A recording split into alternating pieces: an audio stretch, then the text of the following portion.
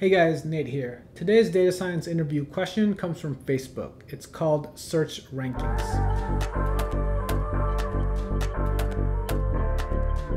The title of the question is called Search Ranking and it's from Facebook. The question reads, you're given a table that represents search results from searches on Facebook. The query column is the search term and the position column represents the position the result came in.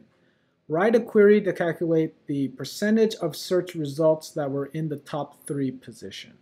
So what I want to do first is check out the table to see the underlying data to see what we have to work with. So what I'm going to do first is preview the search results table here. So it looks like what we have here is the query column, which is the search term, the result ID, and then the position in which the result came in, and then the notes, which I'm guessing is the post. All right, so what I want to do is work with this position column and classify rows where we're in the top three positions. So now let's write out our approach and discuss assumptions. So what I want to do first is use this position column and classify all rows where we're in the top three. So in order to do that, I'll write a SQL query and I, will use it as a subquery and then left join that back into the original table. So that's important because I want to preserve all of the rows in the original table so that we can calculate a percentage. So that's why I'm going to be using a left join. So what I'm going to write here in the approach is to write a subquery to flag posts in top three position, left join subquery with original table, and so when I left join the subquery to the original table, what I'll have in, in terms of the data in the table will look like this. So what I have here is the result ID, the position, and this is actually going to be coming from the original table. And then the top three is just my subquery where I'm classifying and identifying the posts that are in the top three. So I can basically have two scenarios. So in this scenario here, we have a post in position 7. And so when we left join the subquery that identifies the top three, we're actually just going to get a null. And so in this scenario here, we have a post in the top three, and our subquery also identifies it and flags it as a top three post. So we have values here instead of a null. So once I join those two tables together, I'll have enough information to calculate a percentage. So what I'll do is I'll count the top three posts and then divided by all of the posts that I see. So I can just say result ID here.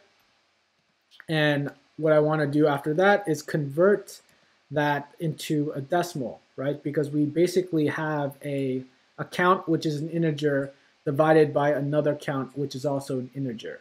So an integer divided by an integer is an integer. So we need to convert that to a decimal or a float data type. And then from that, we have a decimal, and we can multiply that by 100 to get a percentage.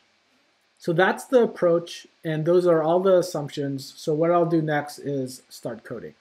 So I'm going to create the subquery first. I'll have a select result ID with the position from the table And what I want to do next is just output posts where the position is in the top three. So in the where clause, I'll have position is less than or equal to three. And that will be my subquery.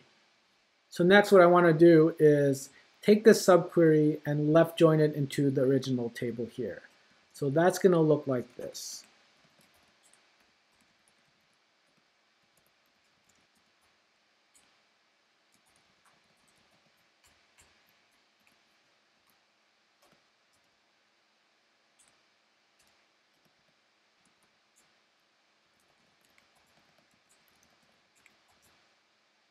So my left join is complete. And just to test this entire query, I'll run it.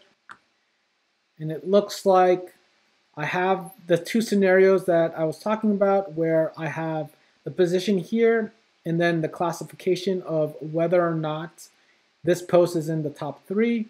So I have these null values here.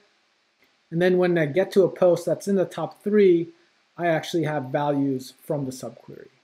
So what we want to do now is count up all of these values and then divide it by all of the rows in the table. So that's going to look like this.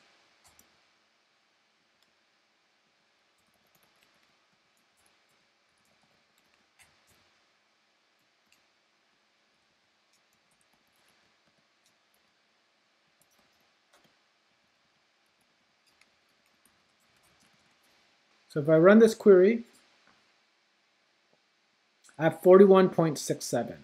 And if I check the solution, I have it correct. And so this is one approach to calculate the percentage of search results that were in the top three.